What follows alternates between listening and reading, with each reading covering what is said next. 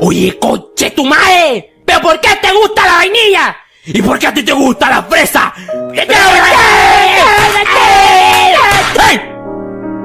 ¿Por qué no les gusta el chocolate? ¡Les voy a cortar el pito! ¡Les